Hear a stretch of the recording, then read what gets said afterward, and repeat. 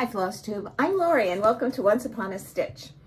Today is Friday, I think it's the 8th of September. Uh, if you're new to my channel, welcome.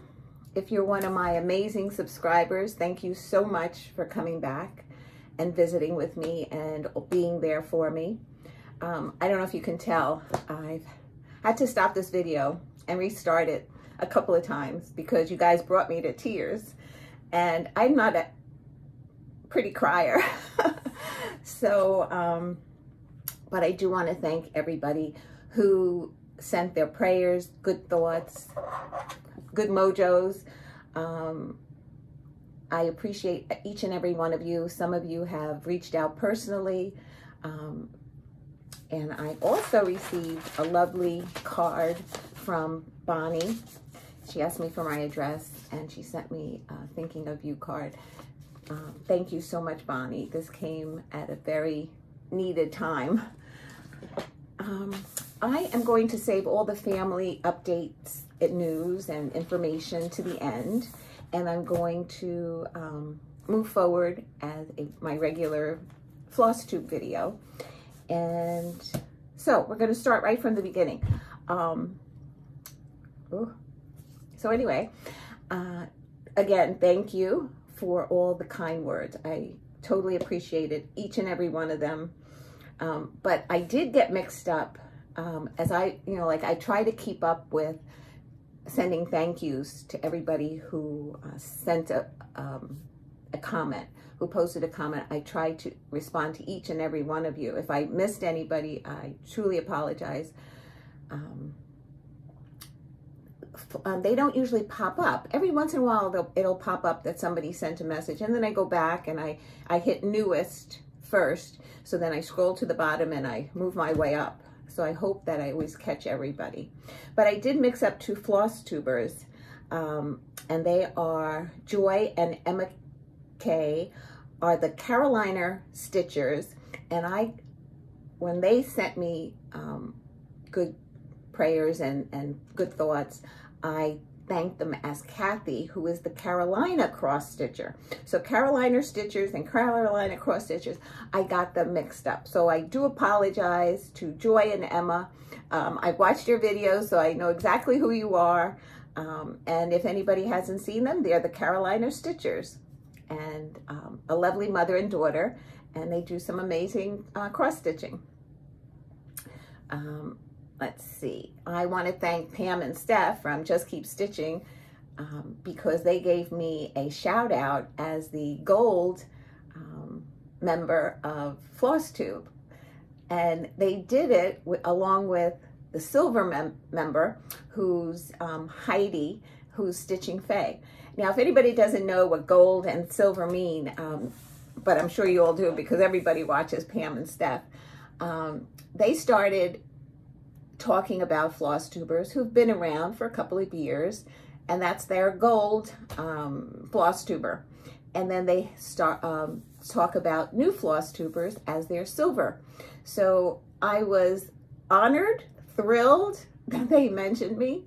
And I was even more honored and thrilled that they mentioned me with Heidi, who's stitching Faye, because I, I mean, I always comment on her uh, videos that she just gives me so much inspiration. She does some amazing um, projects of mirabilias and samplers and she has so much to share and if you haven't checked her out you do have to check um, it's Stitching Faye. I'll put everything in the drop down all the floss tubers that I've mentioned so that you can um, check them out but thank you, um, Pam and Steph. Uh, that was so exciting for me. Um, I didn't expect it.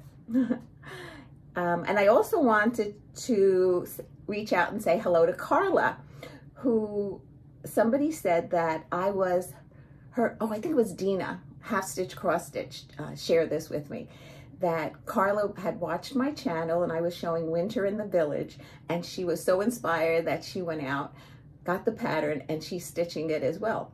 Carla, if you're on Instagram, tag me so I can follow your progress along. Um, somebody asked, how do I start a project like Opening Gambit because um, by Long Dog because it's a large project and she was a little bit overwhelmed of how to start it. So I said that I would I would be showing it. I think I, I stitched on it. I hope I have it here so I don't have to get up and look for it. I think it's in the pile. But if not, I'll talk about it at the end after I show, show all my um, WIPs. Okay, so I think that's it. Yeah, okay. I had some finishes, which um, I haven't had in a while. I've shown some previous finishes and maybe one or two here and there. But um, my stitching group that we um, usually Zoom on Wednesdays and Saturday nights, I, I don't always make it um, to that anymore um, because usually I'm tired. I had a meet up with Donna, Dena, half stitch, cross stitch, and D. They're the three Ds and I'm the L in the group. Um, and it was a Thursday night. And Thursdays I have uh, Layla, Libby, and Caleb. So after about an hour that I was on or something, I just couldn't stop yawning. I couldn't stitch anymore because my eyes were closing. And uh, when I stitch, when I do that, the next day it's usually rip out time. But um, so anyway, we had a meetup on Saturday uh, on Zoom where we had a finishing day, we called it. And I think we, I think everybody was getting on at 11. But I had a, an extra hour in the morning and I knew I wasn't going to be on um, too much in the afternoon. So I turned my computer on whenever anybody signed on, I was there. And we basically finished our own projects, but we finish them together. So if we have a question, oh, what do you think of this? Or what do you think of that? And on, on camera, it shows so much different than when you do it just look at it in front of you. So, um, so it was a lot of fun and I finished a few things and I just want to share them with you. This was a previous finish that I stitched and I finally fully finished it. And this is my granddaughter Talia's Christmas ornament this year. So I did all five grandchildren with Prairie Schooler alphabet. Um, the girls are all this in this direction and Caleb's was in this direction. And I put a little bell at the top and a charm in the back with the year. And that was the first one. And then this was, um, this is going to be Gianna's Christmas ornament this year. And I had stitched the whole thing around. No, I left the bottom open, but I stitched it around. I cut it all out. I flipped it and realized I didn't put a ribbon to hang it. So we were talking about it in our group and when they said, oh, if you put a ribbon in the back, you have to maybe put a button so that it doesn't tip this way. So I just, uh, so I found some cording. It's the first cording I did on my own. It's not the best cording, but it was long enough and that's what I used to go around the pillow. And this is a Tiny Modernist, I think it was Tiny Modernist, um, mouse decorating for Christmas, or mouse decorating Christmas. And um, so what I did was I finished the pillow, I stuffed it, I stitched up the bottom, I ironed it because I don't like them like puffy. Uh, see, there's like just just enough puff for me. And then I hand stitched, I start at the top center, I hand stitched all this down, and then I um, stitched around to tack this hanger down part of it. And then I knotted it and I cut it in the back. So it has a little fringe. And then I put um, a bulb pin with the year and a, a button. And then in the front, I put a wreath to hide the knot basically and a little bell in there as well. And that's, so I have all the Christmas ornaments for this year done. And then I, these two? I had these previously done. I did four of them. And I had to come to a stop because I couldn't find the, the roll of ribbon because I was going to do all of them in this. ribbon, but I couldn't find them. Couldn't find where I put it. If I used it all, but I, I thought I put it somewhere where I was going to save it for this. Still haven't found it. So one year I did, I think, I don't know which two I did first. I think I did the house and maybe the fox. And then I did, no, you know what? It had to be these two that I did first because of the ribbon. Those That was the ribbon I was looking for. So these two were done the first year. These two were done the second year. Same um, hanger. And then I had stitched them, but I didn't finish them till now. So now I have the snowman and peace dove. So now I have all six of them, and this is from the Prairie Schooler. It's called um, Evergreen, and I don't think I can hold them all, or I can show them all. but if um, YouTube gets a picture of this, that would be nice. so um, I was finishing them all the same because every years ago people were buying these uh, huge window um, frames and they were hanging something in each window pane. And I think theirs were nine panes. I found a smaller window pane. Um, oh, I don't know if it was like the first year I did a floss tube and I think I even shared the window pane. Um, and I never did anything with it because, and this was what I had planned to originally do in the six windows. So I have three ribbons that have the red, three ribbon, ribbons that have the green, and um, I think I will somehow put them in the window and then um, display it at Christmas time. And if I do do that and not just put them on the Christmas tree because I couldn't get it to work well, um, I will share it with you. Okay, so August in my stitching group, we were given a month each um, to come up with a like a challenge, and um, it was Dee's month, and she chose a bee theme for August or something with yellow and black. So I selected from Primrose Cottage Hive Rules.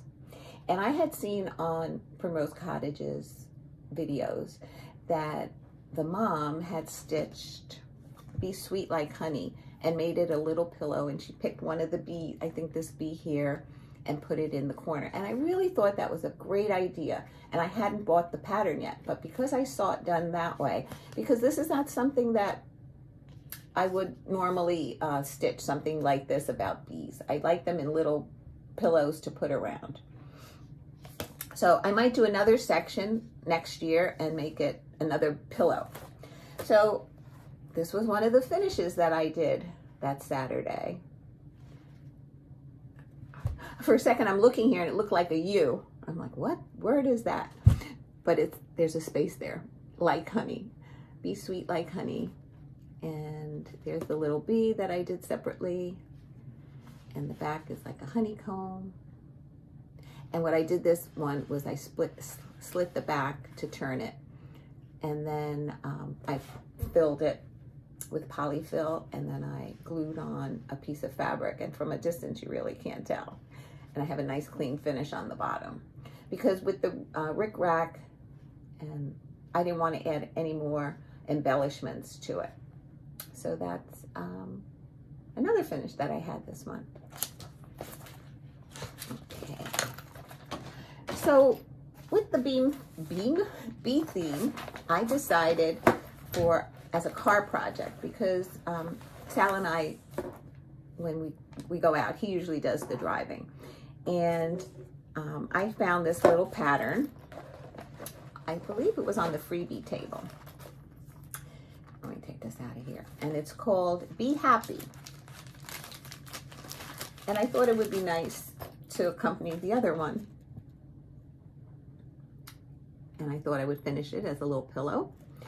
So I'm stitching this on a 14 count um, Aida of Country Mocha. And I, I kept this in because I wanted to show you the difference. See how white and that is? And how like, not as uh, what's the word I'm looking for? It doesn't show as well as the white here. I stitched this on both sides, but hated it because I did not like my stitches on, and oh, this is 18 count. That's why.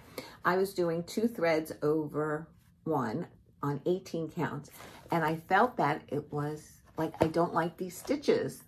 They're ugly, basically.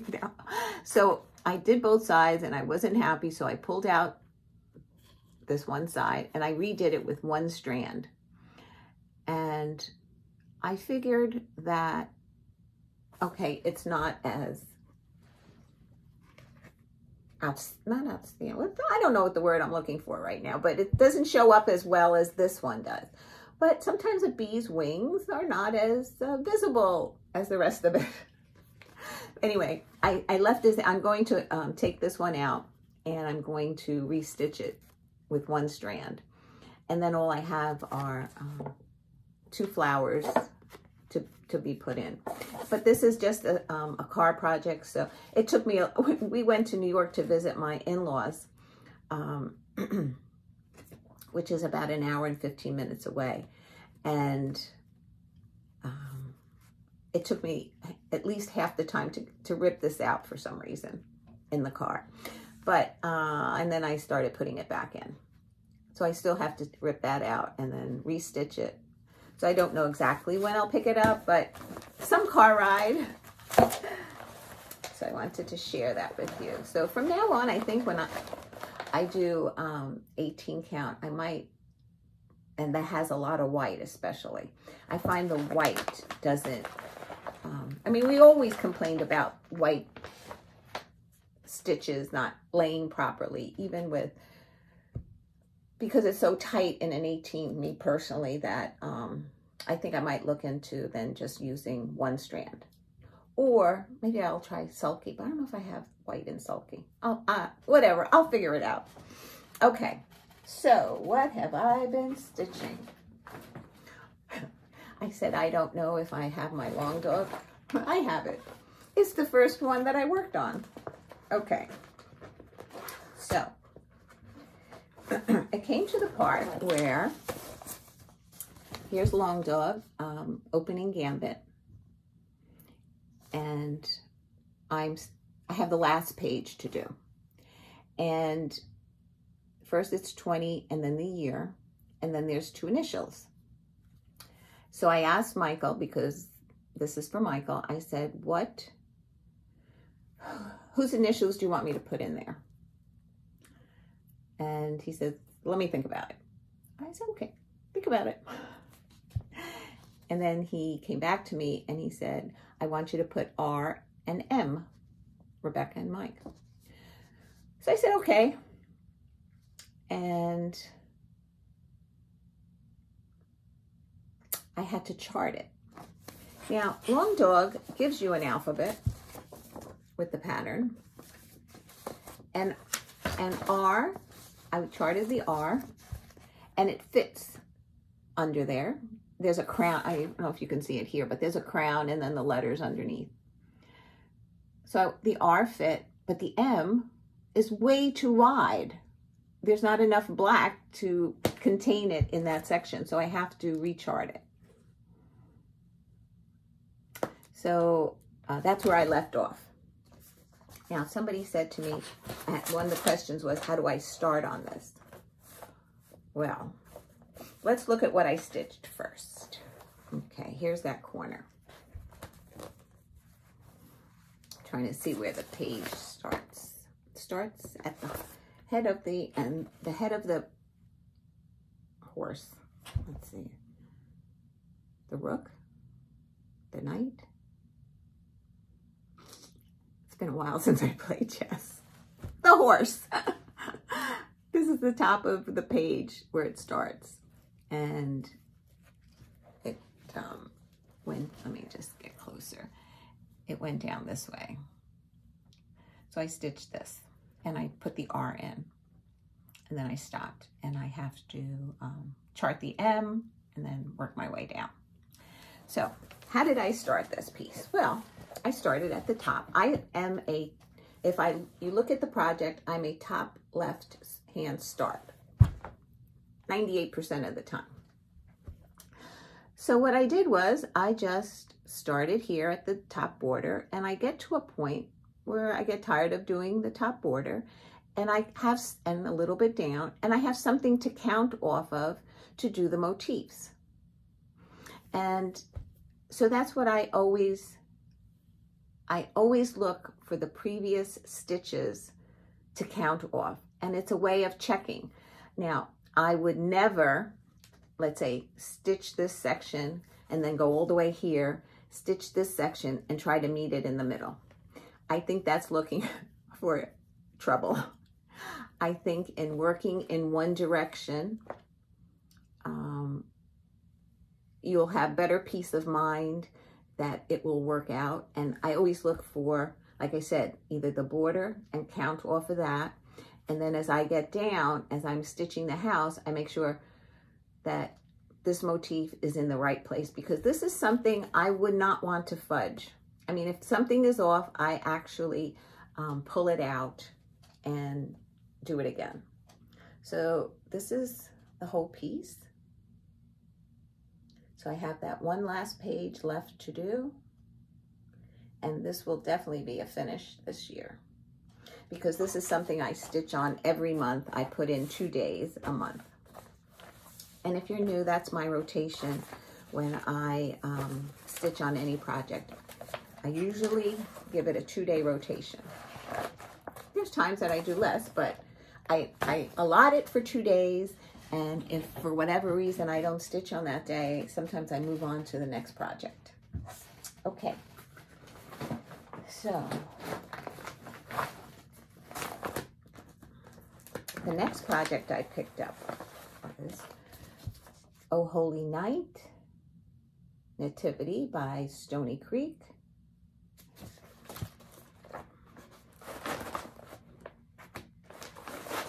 And this is stitched on a 25 count Niagara Blue Lugana. And it's a big piece. Um, and 25 count, two threads over two. Oh, I have to open it. I'm so sorry. I hope it's a large piece of fabric.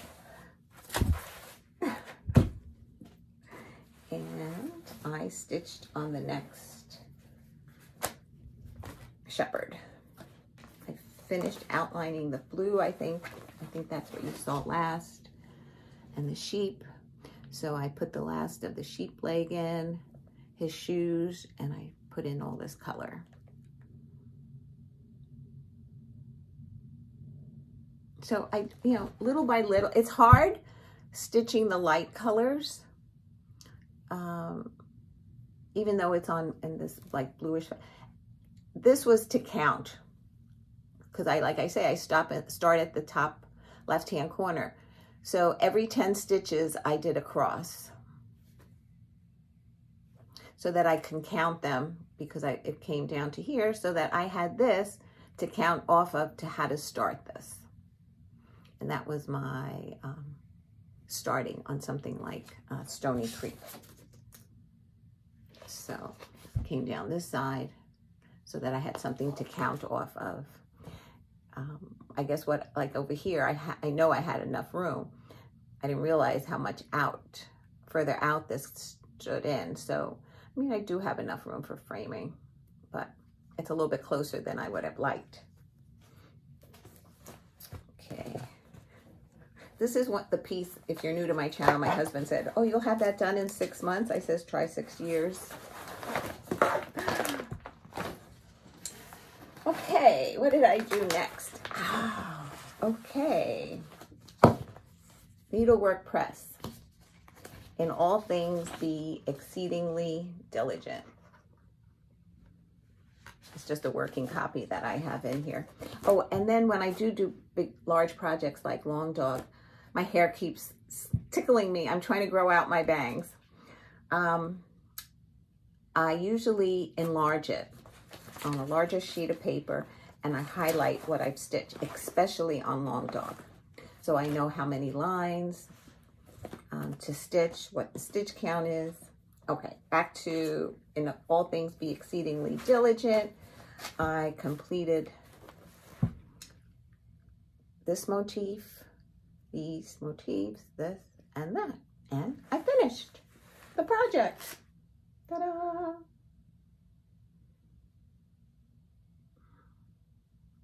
Now, um, this linen, oh, linen, no, this is 28 count um, even weave. It's Vanilla Swirl Lugana.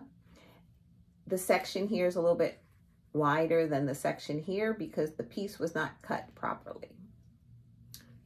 Um, and I always st start to the closest to the corner that I can work because I'm always afraid I'm not going to have enough, even though it measures properly. It's just my thing, I guess. So I have this one done and Be Nice, which is the accompanying piece of this. So one day, when I find two frames in the in the thrift store that are identical that I can my husband can cut down for me, I will um, frame them. Okay, this is something I have not picked up in a while. And that is Heartstring Samplery. His Eye is on the Sparrow. If you've been following me, you know that um, I cut it short. I am not stitching all this. I find it very difficult to read the symbols on the pattern and I've, I, that's it. I, you know, I just didn't enjoy it as much as I thought I would. So, um, I worked on the flowers. So I'm choosing motifs that I want to include. Um, so I stitched this whole flower and this piece down here. And then I moved the Q-snap here and I did a, a little bit of the flower here. And that's it. I have to fill in the leaves yet. And then work my way across. And I'm going to see if these, these birds um, fit in. I have to count the space stitches and, and see if they fit in like in here. And then I'll match it on this side. And then, I don't know, I'll choose some urn of flowers or something in to fill in the rest. Haven't decided totally what's going to be in here, but as you can see, it's a very large piece. It's 28 count Heritage Lugana. I love the fabric. Um, but instead of just making it an unfinished project, I'm just going to select the motifs that I would like to put in there and do the flower border and call it a day. I don't want to give it up because there's a lot of work that went into that and I was excited in the beginning. So I will see how far I get and whatever I stitch and whenever I do, I will most definitely share it with you. I have a lot of projects because we haven't been together as often as I would have liked. The next one is Kringles. And on my WIPGO board, my goal this year was to stitch this row and the name Kringles and be done with it until next year. Well, Dena, my friend Dena, who's half stitch cross stitch and who I'm sure you all watch, she started this in December and finished it. Let me tell you, she finished it. I'm sure you know that too. But um, she was my inspiration to maybe keep going on Kringles to see um, if I can get it done by the end of the year. Maybe, maybe not. But I did put more um, stitching in it. The last time you saw it, I had completed the center section. Um, minus the wick on the candles. There's two little uh, candles in there. I didn't put that in yet.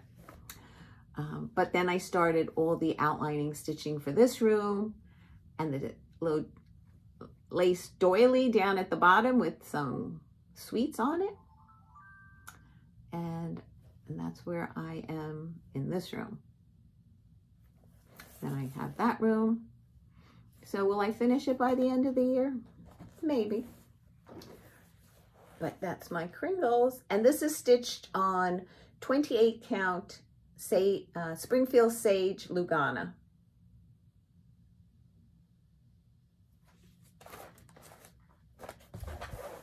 Okay. Dena's is not only finished, it's framed. Okay. Then I picked up, see where there's a picture of it. This was a pattern sent to me by Blushing Pink Stitches, who is on YouTube and on has an Etsy store. And she's on Instagram too. She does um, HAEDs and full coverage pieces. And she sent me this pattern that she decide, designs called Hello Spring and asked me if I'd like it. And I says, I'd love to um, stitch it.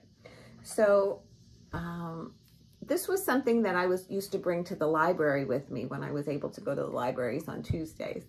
But um, I haven't been there in quite a while because now Tuesdays is a babysitting day. Um, but that's okay. I chat with them and see them occasionally. Uh, this is spring. I don't know if I'm going to put in hello in. I think I'm just going to leave it as spring. I have to finish outlining this last letter and then I will be finished with it and I'm going to make it a pillow. And I think I'm going to see about what kind of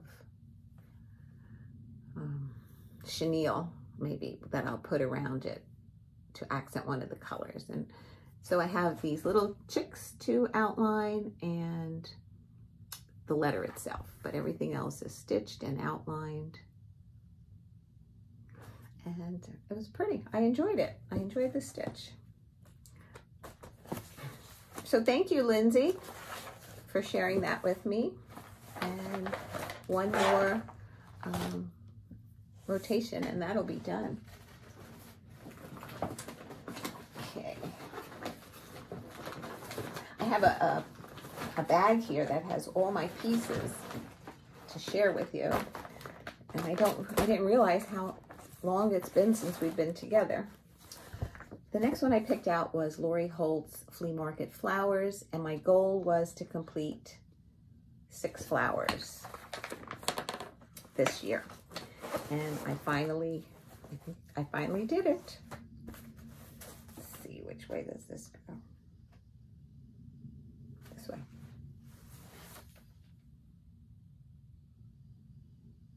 Yeah. No. No, goes this way. Right? Yes. goes in this direction. Okay.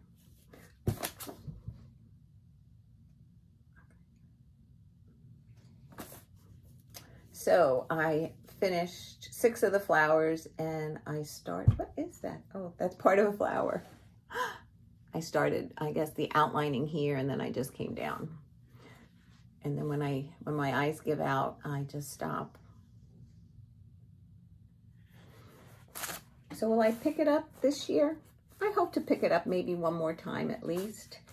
And, and then maybe push for a finish for next year.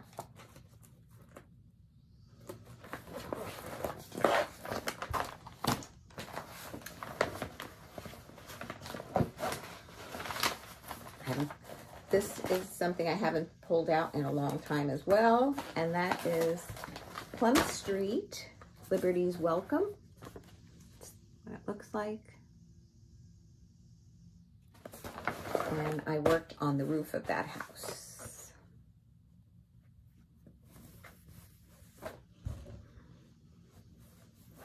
And I'm trying to decide um, what color I'm going to do the house. I think it's a very light gray. So as long as it shows up on my fabric when I'm stitching it, I will keep it. Otherwise, I will swap it out. And this is stitched on a 28 count Lugana Heritage as well. Heritage. And I'm having such a hard time with these large projects today. That's what I worked on, the roof. So I had two more windows. I, I, I thought I made some really decent progress because that's really dense stitching. And this is this is how wide the piece will be. And then there'll be the same border down this side. And so when I pick this up again, I will continue on the house.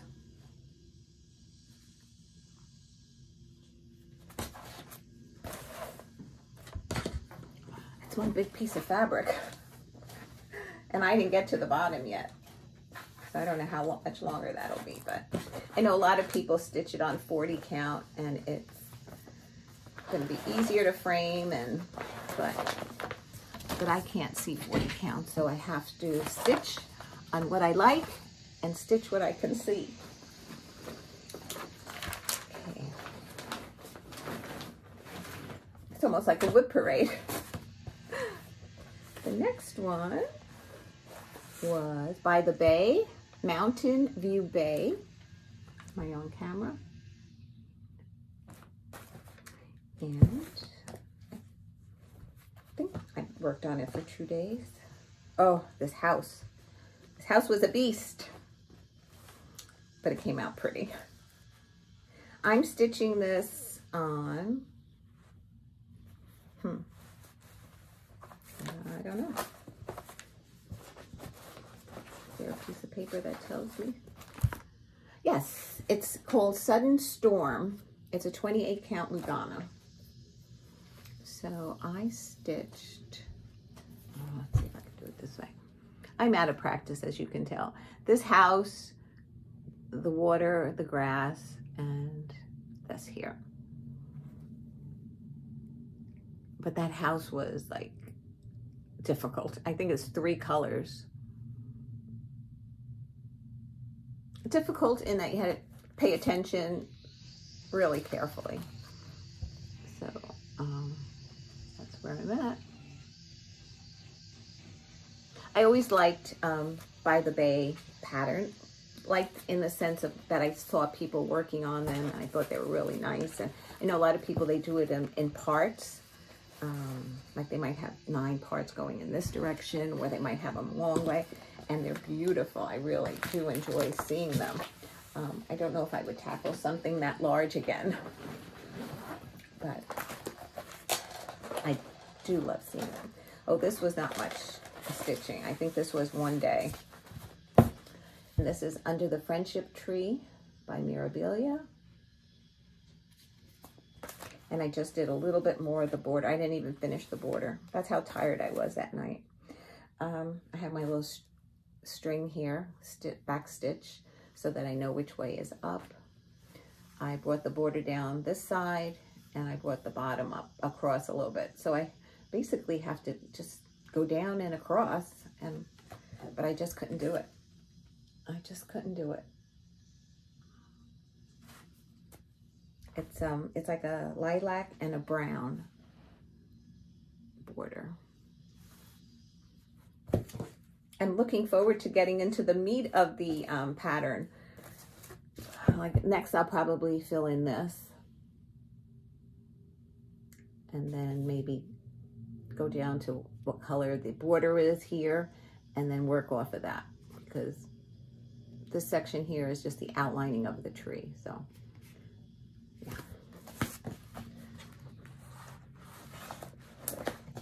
November, they do um, some people, not all people, some people do, is it Nora November? Like old Nora Corbett's, where I might do like the ones I've started um, of Mirabilia or Nora Corbett. Did I show this? Yes, I did. Um, and maybe stitch in November in a two-day rotation on that. Okay. I hope my voice isn't getting too low that you don't hear me because I know sometimes when I'm watching a floss tuber and you're talking, all of a sudden your voice goes lower. It's hard to hear what they're saying clearly. So I try to be conscious of that. The next one is a Plum Street, Always Remember. I started this on 9-11 last year. I was hoping to have it done this year, but it's not going to be done. I didn't realize how big this house was. Um, the la and there's two colors. I, you can see like the stars are in a darker shade of that color. And I last video I shared that what was the name of it? Tennessee clay, I think, red clay. I had three different skeins of it, three different colors of it. And I had selected like a light one and I stitched it in. I showed it in my last video. And that stood out to me like a sore thumb that I pulled that out right away. And then I had to restitch it and I picked a better color to blend in. So I just worked on the house.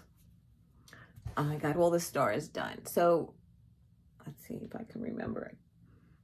Right in here, I had a big blob of this really, really light colored um, floss and it just stood out too, too much, um, that it didn't blend well. So I unpicked, I took it all out and restitched it because some, because they're variegated, some of them match so closely to each other. So I just took it out. This, this is stitched in, the beige door. So basically I have fill-in of this and the house will be done. And then um, I come down and do some more flowers. There's another eagle, the poppies and grass. So I, I do enjoy this project very much. And I'm glad, I'm glad I'm at the point where if I see something that I don't like, I have a little bit of experience under me now that I'm willing to swap out a color because usually I select the wrong colors when I do that because I like colorful and so sometimes I pick too bright of a shade. But you know what? So I pick it out and do it again. I have to learn that that it's okay to pick something and not like it and then swap it out again. The next one I worked on is the uh, Bygone Stitches Christmas Quaker 2 and this is basically two colors. It calls for currant and blue spruce. And they are both Gentle Arts threads.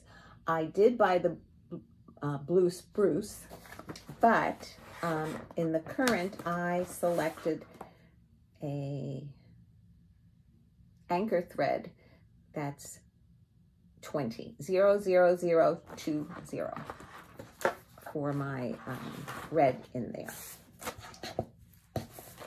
And since we've been together, I got this motif done and the words. We wish you. I believe the tree was there. So it's this motif and the words. And I, so I stitched across the top, which I had already. And now I'm filling in. I fill in, I'll fill in the pages of the top rows, make sure that they're all filled before I go down to the next section. It's really, I'm enjoying this. I don't stitch on it as much as I like to, but I do enjoy stitching on it. I guess maybe because the big projects, I'm like, oh, hmm, it's not going to be a finish soon. Oh, hmm. Okay, just a few more. Okay, September started by now, and I'm participating in what they call ABC Cinco. It's the magazine monthly challenge group. And what they do for September is they call the alphabet. Now, there's 26 letters in an alphabet, and the bingo board has 25 spaces. So they just take out a random letter. This year, they took out the letter T. Um, so you assign, like for every letter of the alphabet, you assign, assign a project. Sometimes it's easy, like A, I put in Always Remember by Plum Street. So it's easy to figure out what A stood for. And then some things, like today's stitch is going to be Y. And I'm stitching the Red House sampler. And you're saying, well, Lori, that doesn't have a Y in it. So, or start the word with it. So I said, it's going to count towards the yews, Y-E-W-S, the type of fern trees that are in the project, that I'm saying are in the project.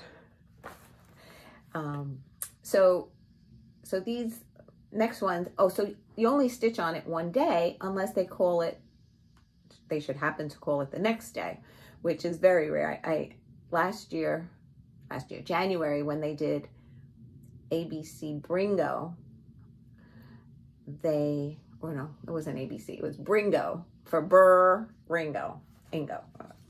Anyway, um, they, uh, what did they do for that? Oh, they gave you prompts and you had to meet the prompts. So this time it's letters and you have to make it work with the letters. And I forgot what I was going to say about it all. So anyway, oh, although we didn't stitch two, like if I had a project for two days, like I would put something in two times on the, on the um, board so that I get my two day rotation in. Okay. So it's not in a row, but, um, but at least I get some time on it. Anyway, the next one I picked up is, now this doesn't have a name on the front cover. That's one of the things with the Brenda Keyes patterns. This is the New England sampler. And sometimes reading, like I get them mixed up, the, the New England, the um, Plant Wisdom. So this is the New England sampler. And so far I just put the one day in. And let's see, what did I stitch? I brought down the border. That's what I did. Oh, I, that's right, now I know. I did the rest of the alphabet. Up to V was done, so I did W, X, Y, Z. I brought down the border. I did the tree and the bird.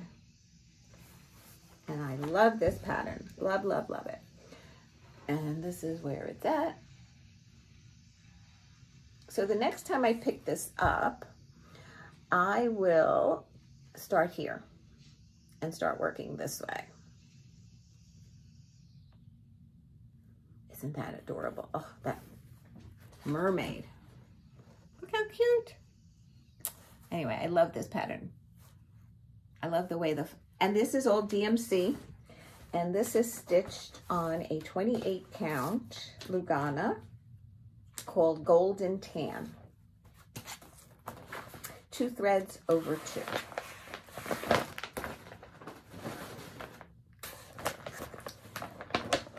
Next was a new start. And I had wanted to start this earlier in the year and I just couldn't fit it in.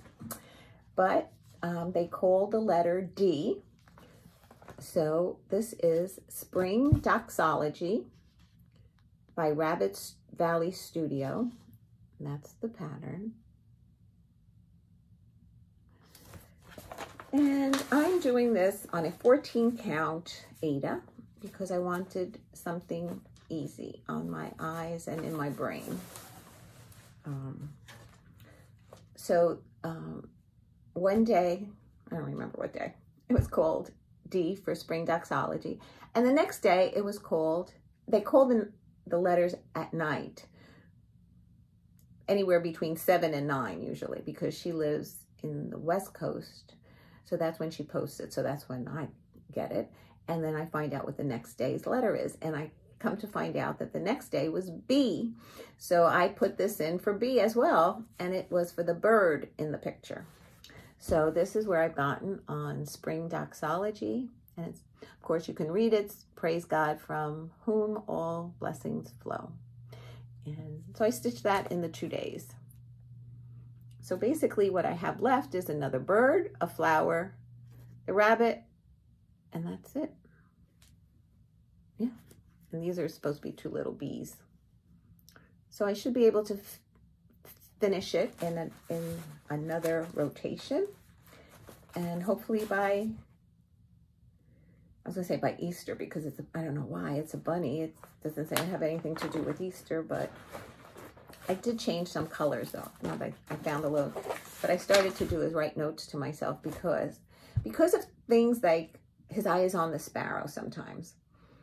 I don't pick that up very often. And I put it on my WIPGO board, forcing me to pick it up. So, but then I, if I change a color and I don't pick it up right away, I'm not going to remember. So I decided to um, change some of these colors. And what I changed so far was the flower. This flower, I chose the darker color because it was called for what's in his ears and you couldn't see it on this fabric. I mean, this you see because it's surrounded by a darker color. Like there's some er, of this color in this flower here that's really difficult to see. So that's why I changed that color. And I changed the words. Um, I didn't have the call for Classic Colorworks. What did it call for? Sugared Violets. And so I just selected one of the two they su suggest. They suggested a strand of one 3041 and 3042. I took the darker of the colors and that's what I stitched it on. Stitched it with. And this is just a piece of beige um, Aida. My notes. Okay. And finally, last night's stitch was the um, Brenda Keyes, the sampler company, the Wisdom sampler. This was two days. It was cold earlier in the month as well. So I had up to this house done. So I worked on this house and I just started that one. And this last night, I yesterday I had all three children. So um, last night was not a good stitching night, only two hours. And then, and then lights out. But I completed one house minus the sidewalk. So I completed that orange rust house and then I started the roof on the next house, which I believe is the widest house on the street. So this is where I'm at.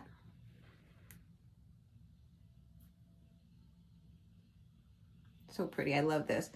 And this is a 20, 28 count Lugana in ivory. So pretty. Uh, two strands over two. I usually stitch two over two, uh, except when I showed you that bead project.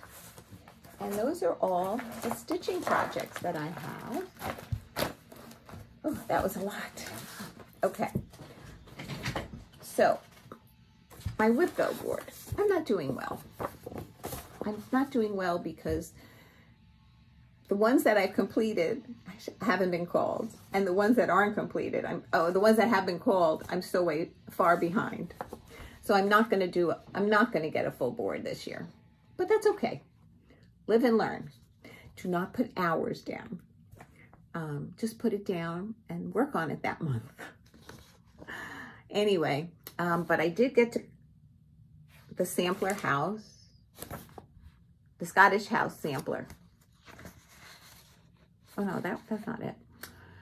Let's see, what did I, oh, I, I was able to color in the six flowers on Flea Market Flowers.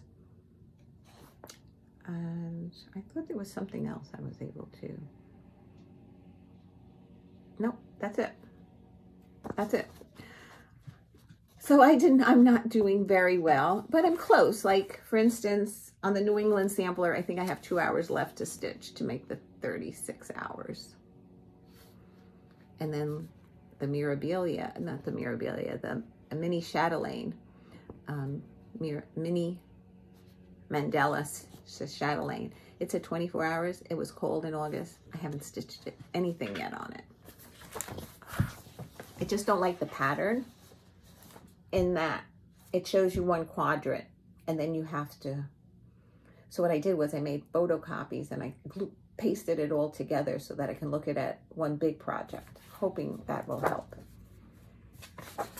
Okay, so the August acrostic for 24 hours of cross stitch was spot,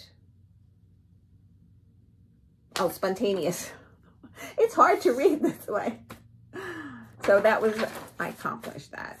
And then for the magazine monthly challenge, it was roots. I accomplished that. So for September, the 24-hour acrostic is on the spot. I think that's what I was looking for. I was reading it separately. Um, and I've stitched two of the projects on that so far. And somebody asks about these, and for the most part, like the is for T, the New England sampler. But then like for Kringles, I have N down for Little House Needleworks. And then I have Kringles on here twice. What am I crazy? Oh, it's only an hour. Okay, well, I happen to put it down here, not realizing I put it on twice. Um, I put it for the O, and I'm saying that there's chandeliers on the bottom, and those lights are on. So, you know, you have, you can play with your words as well. Now, when you put it in for two spots, you have to make sure that you complete the goal. Now, because I knew of ABC Cinco was happening this month, I put the goal of one hour this, this month. Usually I put in three. I try to get three hours in a day. But like you saw, like I mentioned last, last night, I only stitched for two hours. So I wouldn't have um, been able to do that. I wouldn't have been, met the goal unless I put in more hours. So this is what this single ABC single board goes, looks like. These are the letters that have been called. I started putting the date in and then I started um, filling in the square and the ink bled. So I stopped doing the date there. Didn't make a difference to me when they were called. As long as I have the right letters and that's my board so far. And then they give you a, um, a page like this with the alphabet and you can put in, and this, when you're, when you join the group, um, th these are all available for you to download if you'd like to download. So, um, so I downloaded the pages, I fill them in. My thing is I love planning and replanning when they don't work out. And they also did an acrostic for um, the month of September, and that's the word cactus. And so far I've stitched on three of the projects. And on this group, you could double dip, meaning like if you're doing ABC Cinco and you worked on it, you can check it off as well on this.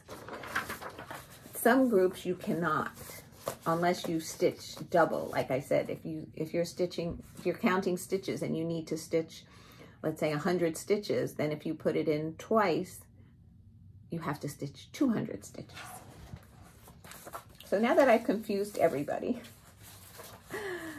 let me get back to the fun stuff. Okay, we're to do a giveaway.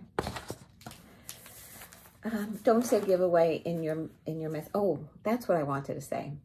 I got a message from video 127, and it was from a person, and they were saying like, I'm not going to watch another person who uses the word acrostic in their talk about it. Like if you talk about an acrostic, I'm not watching you anymore.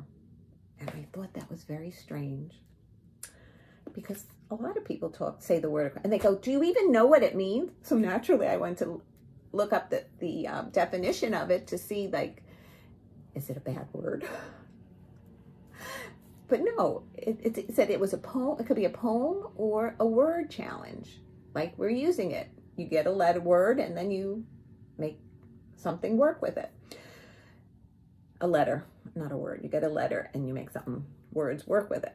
So that was very weird. So I was going to like call that person out. I'm like, well, you know, like there's other people. Don't watch me if you, you know, if that's how you feel. But so I looked again this morning and I went back to that video and another person just had the same exact thing written, but then they had numbers after their names. So now I'm thinking there's spammers out there. So I'm going to do this giveaway and I am not going to, like in the next video, I will call the name out of who won through a random number generator.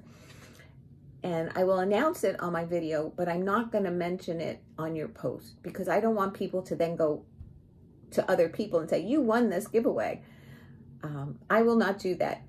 In order to check to see if you really won something, I will I will mention it in my video. That's the only way I will um, tell you that you've won. It's the only way to keep the spammers out, I guess. Okay, so I was trying to think of what would be a fun question. this is going to show you my age. but whatever. When I was young, young, I'm not gonna say younger, young, we would, I lived, I grew up in the Bronx, New York. And, oh, about, I don't know, a block and a half from my house was the trains. And we had the elevated trains. And that was, and the street underneath it was called Westchester Avenue. And that's where all the stores were. And then off the these streets were a build buildings, small buildings, large buildings, and people we lived in these these houses. I lived in a four family house, two fam two families upstairs, two families downstairs. Only four rooms, two bedrooms, a living room, and a kitchen, and of course the bathroom. But they say they never count the bathroom. And that was our house. That's what I grew up in. Um, so anyway, the avenue, Westchester Avenue is where all the little stores were and pizza store, pizza joints and the movie theater. It was called the Ward Theater. It was on Ward Avenue and Westchester. Anyway, so what I remember is pizza used to cost 15 cents and you got a soda for 10 cents. And for a quarter, you had lunch. That's what I, and, and it's funny because this past weekend we went to visit my mother-in-law because a, Sal's cousin who introduced us was going to be there. And she and her husband are moving down to Florida permanently.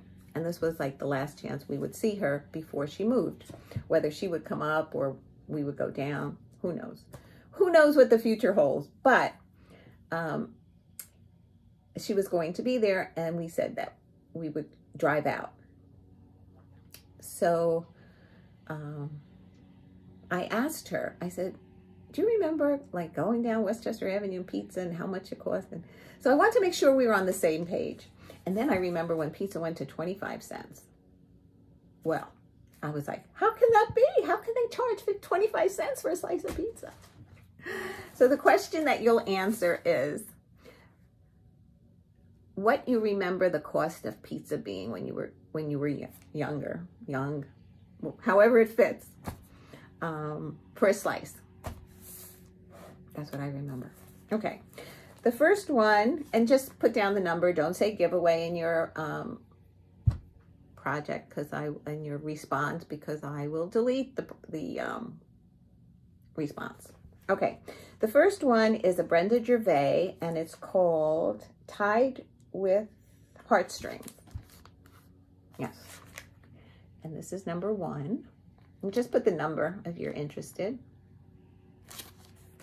Number two is a Little House Needleworks, and it's called Quilt Time Sampler. Now, they show this in a clock. I opened the pattern to look at it. Um, my friend Alva um, gave me this pattern, and she marked she marked the uh, threads. That's the only place, if she, if the pattern was hers, that's the only place she marks is her threads. Otherwise, I wouldn't, you know, if she marked the pattern, I would not um, put it up, put it up for adoption, put it up for a giveaway. Um, this is an actual clock. This, so you're not stitching this, you're stitching this section and it's a house, a tree, and some of the things that it says is A, then they have the letter B for bear paws. Then C is churn dash for the C and the D. So it, it's like words and letters of the alphabet under a row of quilts, under a tree with the house, another quilt, and some baskets and some flowers on the bottom. So that's the pattern. And that's number two. Number three is Stacy Nash, and it's called Sleigh Bells, Pin Keep, and Ornament a new pattern. And this is what it looks like.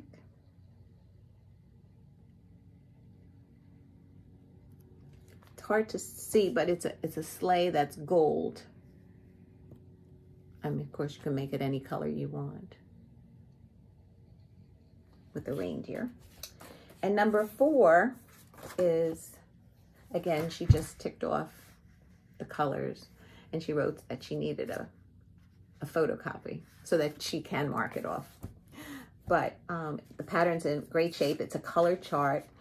Once I saw the chart, I, I was thinking about stitching it, but I was like, okay, Lori, we got to not keep everything. This is number four. It's called Christmas Sampler by Cottage Garden Samplings. And I checked this out because to me, this looked like satin stitches, but it's not. It's all cross stitching. Um, but I think it's because of the color that it is. It, it's probably a um, variegated, so that's why it has the shading in there. That makes it, to me, it makes it look like um, a satin stitch. And again, these are letters and words. I think every letter has a word attached. Angel, Bethlehem, Carol, December, elves. It's hard to read, so I, I read some of them to you. And then it has some little motifs. And that's number four. Okay, so you know what the question is. You know what to do. Don't say giveaway. Be 18 years of age or older so that I can request your address.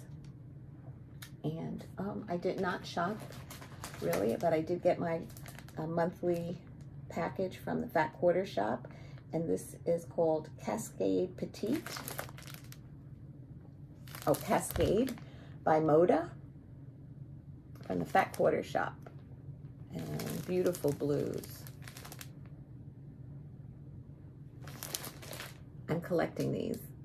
Eventually I will start quilting again. Okay. Life update. Well, since we were together, we celebrated Gianna's second birthday. She's my second grandchild. She's two years old, second. And um, this was her two-year-old picture.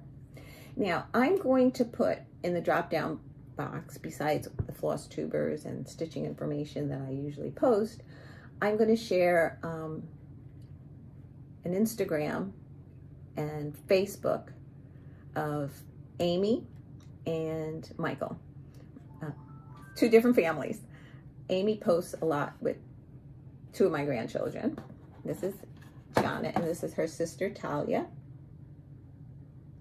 And Talia is, let's see, February, March, April, May, June, July, August. Gonna be seven months. That's right, she just started uh, solids. And I watch her on Mondays and Tuesdays. And I'll put Amy's um, Instagram page down below. She posts a lot of the, of the girls and some of them are hysterical. And Gianna got her first haircut. And you know how first haircuts go where they cried and then they got her attention. And then she had, it was a two lollipop haircut. So it was cute. Um, and so we set, we had a party for Gianna. We had it here, and um, unfortunately, Mike and Rebecca and the family couldn't come. Um, Libby was too soon out of the hospital and didn't want to be around too many people right away. So, okay, so that's Gianna and Talia, and my update on Libby. Uh, I'm not saying anything that I that hasn't been put out there. Um, Michael and Rebecca put out posts about Libby.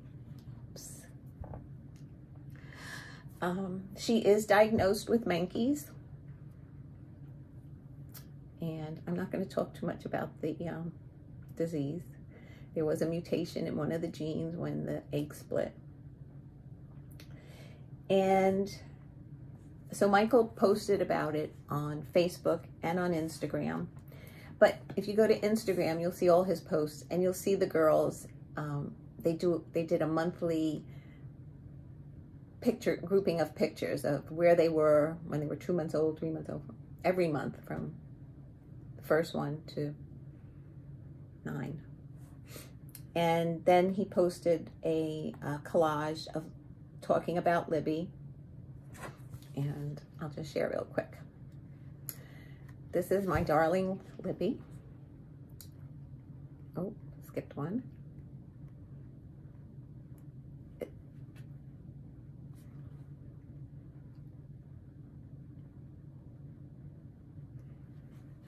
I mean, you probably can see it better on Instagram or on Facebook. You know, it's just showing it really large. This is in her car seat. Oh, come on. Oh. It's Caleb, Layla, Libby. Let's see which way does it go? That's her car seat one. Did I?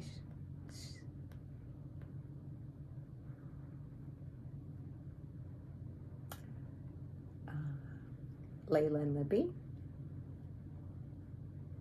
This is her when she was in the hospital. That's her in the hospital. And this is when they were heading out to Ohio. It's her feeding tube. So, she was diagnosed with Menkes. The ge genetic doctor here in New Jersey said there's a trial out in Ohio at the Children's Hospital out there where this doctor um, got funds to tr to try something to help these children. There's no cure for Menkes. Um, the cure, not, not the cure, the di no, not the diagnosis. What they do is they give her copper because Menkes is a copper deficiency. And copper has a lot to do with a lot of parts of our bodies. Most people, when I mention it, they don't know, they never heard of it. We never heard of it either. Um, I went to my cardio cardiologist for just a regular uh, checkup and she asked me how my summer was going. So I, I mentioned it. She goes, I never heard of Menkes. She wrote it down. She was going to, you know, look into it. So um, they, if you read about it, it says, you know, you have to catch it within the 20, 28 days of birth.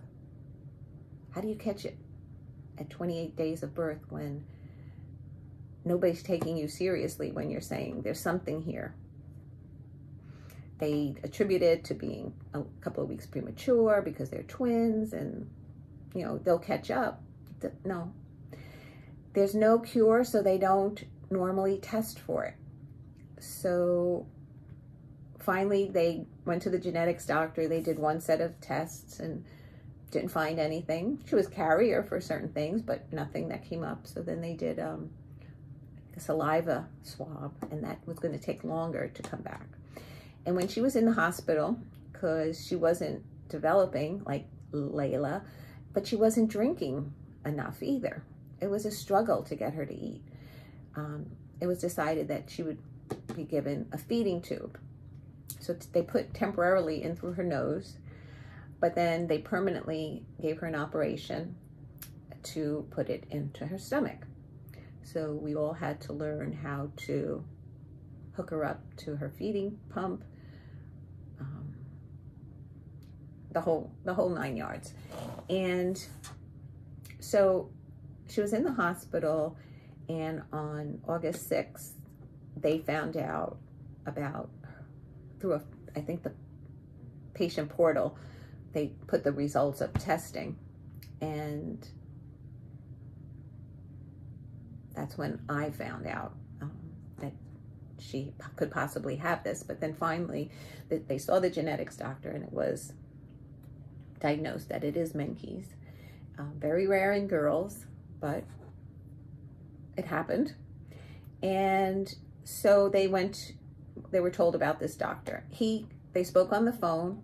He wanted her as part of the trials, especially since she didn't have seizures. They say a lot of children that have this also have seizures.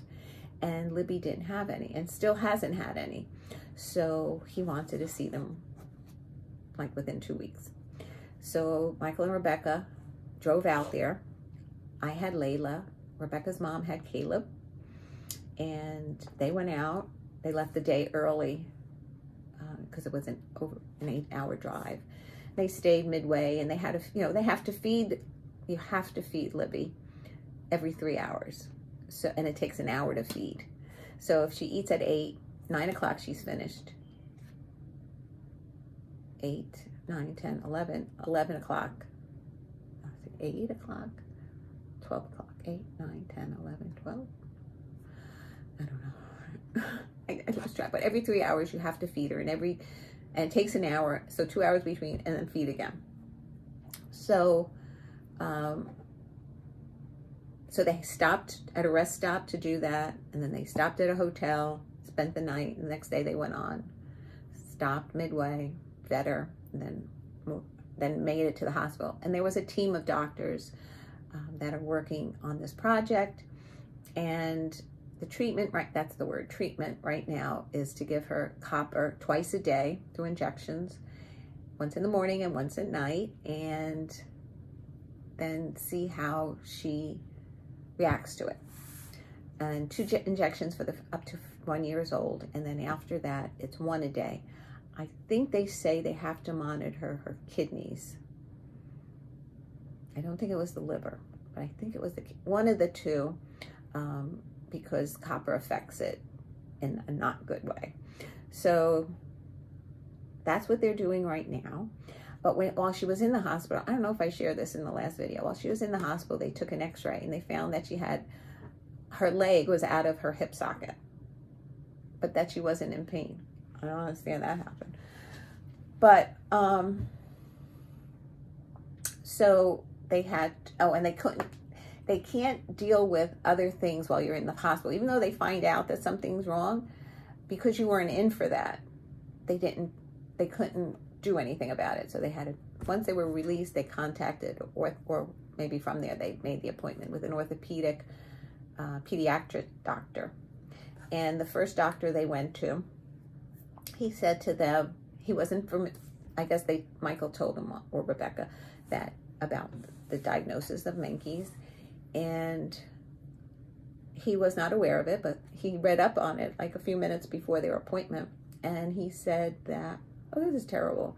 But he said that you don't know how long she's going to live and why put her through the the pain of the operation and I mean it was all negative. So when I asked texted Michael that evening and saying, How did you make out? And he says, I'll fill you in tomorrow. I knew that was not a good sign. Um, tomorrow he was bringing the, the, children over for us to watch, so he drops them off in the morning, so he was going to fill us in. And that's what he told us. So he already, he had met a family, he and Rebecca met a family in um, Ohio whose son was having treatments there. And they had a similar incident where his um, hip was out of the hip socket. But he wasn't diagnosed with Menkes until he was two, and I think he they said he was five. Um, so he was older when he had the operation for his hip. Since Libby's only nine months old, anyway, they got the name of the doctor, called them up, went to see them, and the doctor suggested having the operation because you don't know how long she's going to live. And if you don't do anything, arthritis could set in and she could be in more pain than having something done. So he wants to wait until she's a year old. So I guess maybe up for the growth spurt or something. I don't know. But so that's in November. So sometime I think November they might schedule the surgery. Um, They'll keep her in definitely overnight, but they'll see what her pain tolerance is after that, I believe they said, and before they send her home. So it's not a long stay in the hospital, um, which is good because sometimes you go to the hospital and you pick up germs and come out with other stuff. So I'm glad it's not a long stay. And that's basically it where we are right now. Um, they're doing the treatment. They're going to do everything they possibly can to help this child. Um, and we're there to support them. You know, people ask, how are Mike and Rebecca doing? I said, it's amazing, amazing. Um, I just think about it and I just lose it. And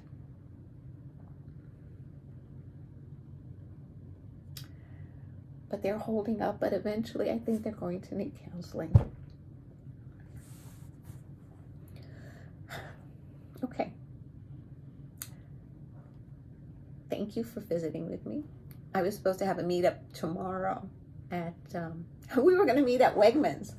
Uh, my stitching group that used to meet up at Needleworkers um, once a month. We haven't seen each other since our retreat in July. And we were, Arlene Cohen, who's part of the group and is also works by ABC, she went to Wegmans in Woodbridge, New Jersey, and she asked them, you know, if it's okay, because they have an upstairs by where their prepared foods are. There's an upstairs where you can eat there, and we've we've done that before. We've when they used, especially when they used to have the full prepared foods bar. You make a nice big dish and you go upstairs and you sit by the balcony there and you watch these people shop and you're eating and it was lovely. But then COVID happens and things just change. There's not the extensive food bar that there used to be there, but there's food that you can buy and desserts and beverages. So, and I don't think upstairs is used quite as much. So Arlene asked if, you know, we can sit up there and they said, well, you know, buy something, coffee, whatever, um, yeah, that's fine. So we were going to do that. They are going to do that tomorrow. Um, I just got a message right before I turned on the video today. Um, Michael has a photo shoot. Michael is a photographer on the side. Um, he, has done weddings and yearly baby pictures and just a whole bunch of things. I mean, if you go to his Instagram page, besides seeing the children, you'll see um, he got an amazing photograph of the moon when a plane happened to be crossing in front of it. And he took some pictures of some finches in um, in some what are those flowers? Sunflowers. Um, some finches together. And I, I remember talking to him on the phone. I'm hearing the camera clicking. I'm like, how close are you? Because he they're really close but he has he has the lenses that I guess can bring it in really close. So um, so there's a, a lot of uh, really nice photos that he posts. So anyway, he has a photo shoot tomorrow and he asked me if I would help Rebecca. And I know she's not feeling well, so of course, of course I'll go there. Um, Sal was planning to go over to James's anyway um, to help him with a play set that he put together mostly himself, but there's a few pieces that require four, two sets of hands besides the two that he has. So Sal was going to go over there and help him do some stuff around the house. But so he's going to go there. I'll go to Rebecca's and um, yeah. So that'll be my Saturday. And then Monday it starts all over again with the children. So I'm going to say I hope to be back in two weeks, but we'll see. I'm not going to make promises that it'll be definitely two weeks, but I, I do intend to come back, share with you my progress. Hopefully I'll have a few more finishes. Um, yeah. I think I think Sunday, I said to Sal, you have plans for Sunday? And he's like, no, not really supposed to rain. I says, maybe we can cut some frames. We. He can cut some frames and I'll could do some lacing, but we'll see. We'll see what the day brings and what life brings, and we deal with it on a daily basis. Um, that's it. Okay. I just don't want to say goodbye to you guys. Thank you so much for being there for me and um, your lovely comments and prayers. So it's a journey. I'll keep you all posted and um, I'll talk to you soon. Stay well, be kind. Love you guys. Mwah. Take care.